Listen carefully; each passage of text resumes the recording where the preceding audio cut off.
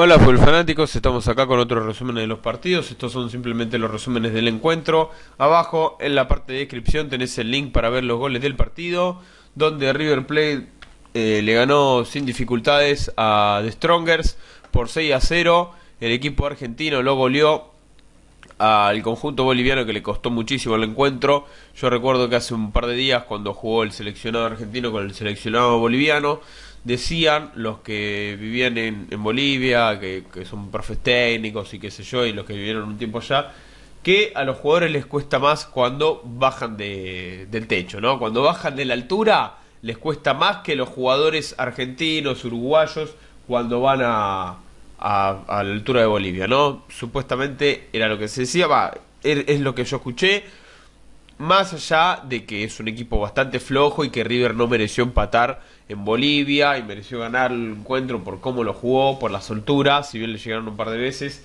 el que mejor jugó había sido River.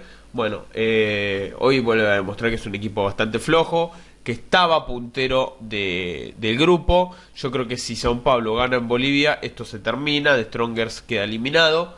Habrá que ver, el próximo partido es River Plate con Sao Paulo bastante lindo, atractivo ese encuentro. Yo creo que puede meter tranquilamente un mix River Plate teniendo en cuenta los goles a favor que tiene hoy en día. Eh, que de ganar ya estaría clasificado para mi gusto. De perder le costaría un poquito más. Pero con una victoria contra Trujillanos depende que se maten entre Sao Paulo y, The Stronger, ¿no? Eh, así que bueno, habrá que ver cómo, cómo se da esto.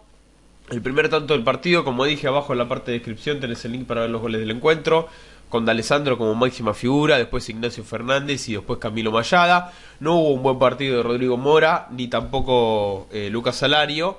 Los laterales aportaron en ofensiva, fueron importantes. Domingo también desde, desde la mitad de cancha para tratar de, darle el pase fluido y, bien al pie a D'Alessandro, a Ignacio Fernández para que empiecen a hacer las jugadas. Y bueno, el primer tanto, un golazo infernal, el mejor gol de la Copa Libertadores hasta ahora. Eh, una gran pisada de Alessandro que amaga jugar con Mercado, abriendo para la derecha, mete el caño infernal, toca con Camilo Mayada que se la devuelve de taco, pone el, eh, el 1-0 de puntín Andrés de Alessandro, el primer gol en su vuelta, a los 14 marcaba el 1-0, el segundo a los 26 de Nacho Fernández, el centro de Gabriel Mercado y el ex jugador de gimnasia de ingresando al área se eleva y con su cabezazo pone el 2 a 0. El tercero, el de Camilo Mayada a los 30, el centro de Bangioni, el otro lateral. Mayada eh, ingresa al área. Cuando tira el centro Bangioni, Mayada está 7-8 metros fuera del área con una velocidad eh, impresionante. Ingresa, impacta la pelota de uno, pone 4, el 3 a 0. El 4 a 0 pone Mamana. Centro de Alessandro, un pase a la cabeza en una jugada de tiro libre que estaban todos metidos en el área, la jugada rápido para Domingo que quedó de, último, se la vuelve a meter a Alessandro que va corriendo desde la punta derecha y mete el centro perfecto para que el marcador central ponga el 4 a 0 en el minuto 42 y sobre el final del primer tiempo Lucas Salario a pase de Rodrigo Mora en otra jugada que hizo Alessandro la recuperó, metió el pase de tres dedos, la pierde insólito el defensor. Y bueno, el desborde, el pase y el 5 a 0 y el sexto, ya finalizando el encuentro, ya con todos los cambios hechos por River, había ingresado eh, sin ganas de jugar, con, eh, había ingresado por Mora, Pisculici sin ganas de jugar por D'Alessandro, e Iván Alonso un poquito más eh, con ganas de jugar, ingresó por Lucas Salari, bueno, el sexto fue el remate cruzado de Nacho Fernández, Así que vamos a repasar las distintas alineaciones. El local, el equipo de Marcelo Gallardo jugó con Maro Vero, Mercado Mamana, Balanta, Bangioni. Mayada, Domingo, Nacho Fernández de Alessandro, Alari y Mora. El visitante fue con Vaca, Maldonado, Martinelli, Pereira, Bejarano, Cristaldo, Chumacero, Beizaga, Torres, Escobar y Alonso. Eh, yo le diría a Marcelo Gallardo que ponga un mix allá en Brasil.